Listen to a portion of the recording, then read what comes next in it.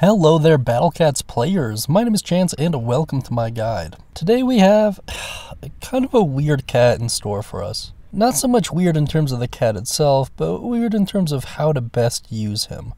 Today we're going to be talking about Thief Cat. Now, this rare cat can be unlocked by playing the rare cat capsules. And as always, it is my hope that by really exploring everything there is to know about Thief Cat, you can ultimately make a more informed decision on to how to best use him in your lineups, as well as how far to invest into him, if at all. Starting out with Thief Cat's evolutions, it's pretty common for really all of the rare cats. Starting out with Thief Cat, whose description reads, moves fast, steals faster, more money earned when defeating an enemy. Then at level 10 it turns into Phantom Thief Cat, moves too fast, still steals the same, has a large treasure collection now, more money earned when defeating an enemy. And then it true forms into Geomon Cat, bandit of legend, last seen in old Japan fighting against the shogun's tyranny, slips extra money out of enemy pockets with each area attack. Now then, let's take a look at a brief overview of Thief Cat. Starting out with its class, Thief Cat is considered to be a melee unit, which is any unit that has a range between 1 and 249. Under pros, you have fast attack rate and animation, decent health, moderate recharge time, cheap to produce, high DPS in true form, and area attack in true form as well. Under cons, you have low damage per hit, low range, and single target in the normal and evolved form. Under other considerations, this is one of the cats that actually gains double money when defeating an enemy.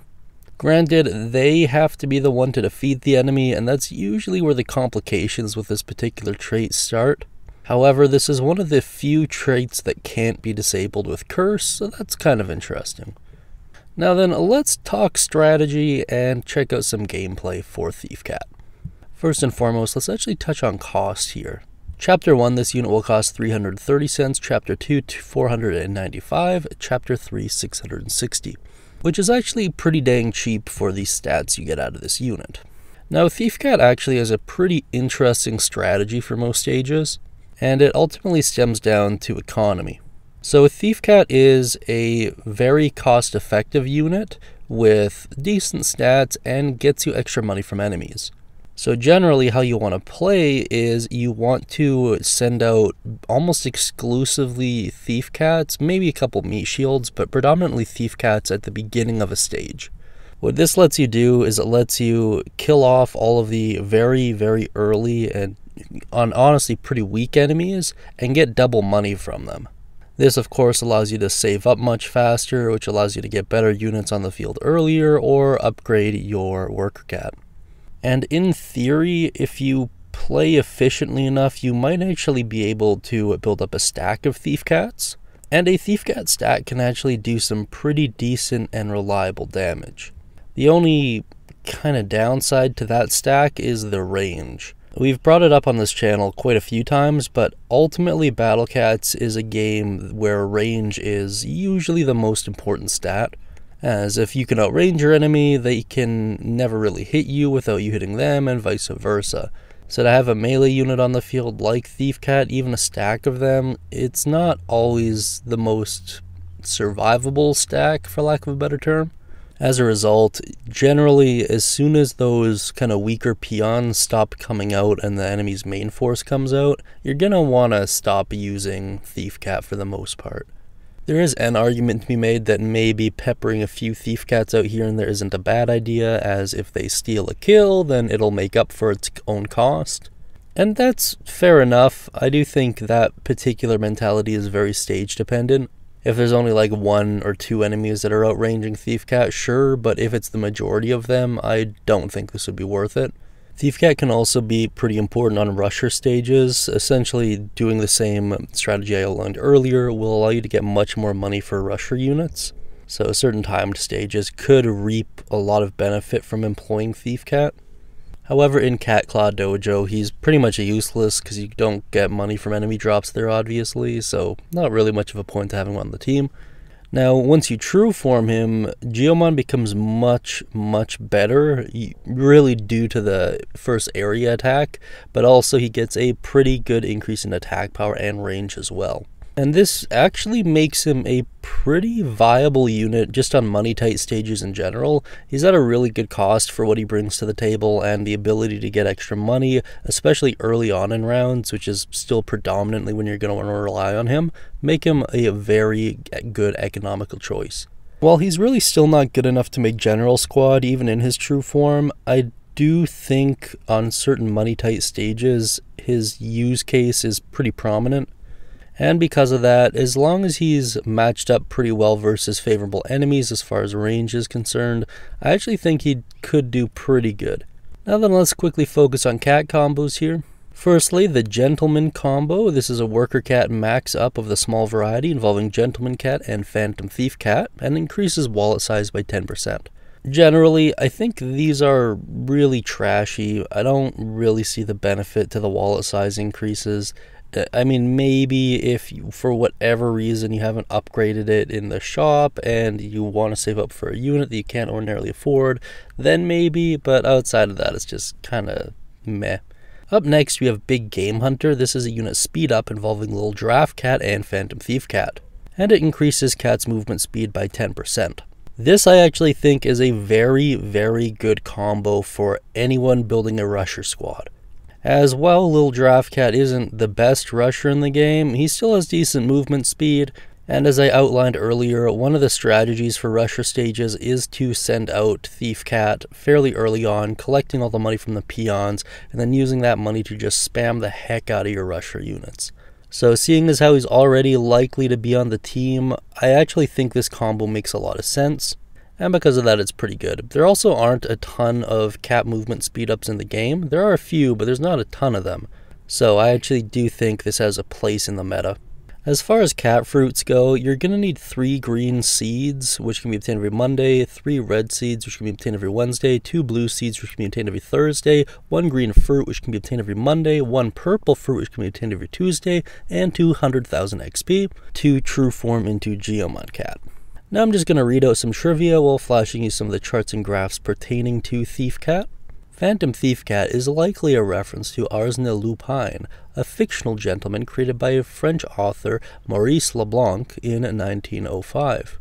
I wonder if that's actually what Lupin is based off of as well from the anime series. Maybe, I don't know. Phantom Thief Cat may also be a reference to the Phantom Thief Kato Kurba, from the Magic Kato series, his signature weapon, his cards as a magician.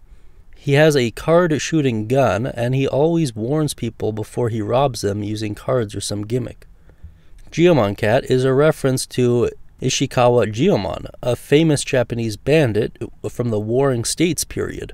The line inside of its box can't become four dimensional. In Geomon Cat's Japanese description, may be a reference to Doraemon, who has a four dimensional pouch that he uses to store various gadgets. All very interesting stuff indeed. Although, wasn't there also like a, a Sailor Moon character named Phantom Thief? And also like a similarly designed character in Medabots, if any of you remember that? You know, like that kind of like weird pseudo robot anime, not like mechas or anything, but like actual just like robots, and they kind of do like Beyblade style battles like the main character was called like Metabee or something. I don't know if anyone else but me remembers this, but yeah, I don't know. I remember there being like a similar character in that too. Now then, let's talk about talents. As far as available talents go, there's Attack Up, which adds a 51% attack power at 33% health, increasing by 11% per level up to 150% for a total NP cost of 95. Zombie Killer for 50 NP, defense and attack buff, which increase the respective traits by 2% per level up to 20% for total NP cost of 75 each, and movement speed up, which increases movement speed by 1 per level up to a total of 10, total cost of 75 NP. Now, as far as Geomon's talents go, all of these are actually really good, with maybe the exception of Zombie Killer. That being said, you're gonna want to invest pretty heavily into this cat just to get him to fairly good viability. That not only includes getting him to a pretty high level, but you're gonna definitely want to get both defense and attack buff, and movement speed is probably actually his most important trait or talent rather to invest in, as this will just make him much better at clearing up those early game peons, and it'll make him much more viable on rusher stages. Now, attack up can make a lot of sense as well, especially after you've invested into his defense buff, Zombie Killer is kind of up for debate. Personally, I find that there are much better zombie killer units in the game that you get access to at roughly the same rarity as Thief Cat. That being said, however, if you are struggling with money on zombie stages, which would be fairly understandable, it wouldn't be a bad idea to get him this trait just to essentially do what he always does clear up those early game mobs and then um, kind of pepper the rest, right? Ultimately, let me know what you guys think down beneath in the comments section, and hopefully, you guys will provide some good advice as well. Now that you know what I think about Thief Cat, let's hear what all of you had to say about him. Courier Cat says, number one, best cat in the game. I think he's being a little bit facetious when he says that. Bee Eater says, best cat, hands down, all in caps, and I think he may be a little bit less facetious in this case. And Shadow Knight 2485 says, NP. What I'm assuming he means by this is he just turns Thief Cat into NP and uses him as kind of cannon fodder to upgrade his other units. And well, I'm not really going to tell you that's the wrong approach. I guess it depends what units you have. I would say at least true forming him is pretty useful. Maybe if you decide to invest into him, if you're having money difficulties, that would make sense. But if you aren't, I mean, I guess there's not really much of a need for him. And naturally, if you would like to be featured in this part of the video, feel free to check out our community tab and comment on the relevant posts. And that's really about all there is to say about Thief Cat. If I missed anything or overlooked anything or just explained anything badly, please correct me down beneath in the comments section. I would greatly appreciate it. And let me know what your experience has been like with Thief Cat so far. I'm really looking forward to hearing what you all have to say.